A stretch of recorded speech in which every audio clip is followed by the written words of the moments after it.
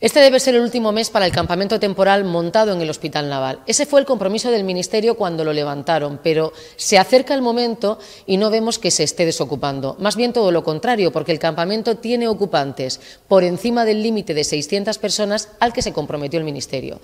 Cuando nos impusieron este campamento dijimos que era un grave error que el Ministerio no debía traer a Cartagena más inmigrantes y no porque Cartagena no esté dispuesta a ser solidaria, sino porque Cartagena ya es punto de llegada de pateras. El Gobierno de España se ha demostrado incapaz de gestionar la inmigración propia.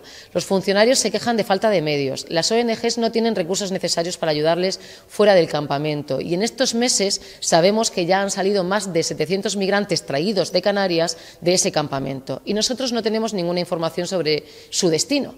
No sabemos si necesitan ayuda, no sabemos si siguen en Cartagena, no sabemos si se han ido y está claro que el campamento no resulta una alternativa humanitaria para resolver su situación.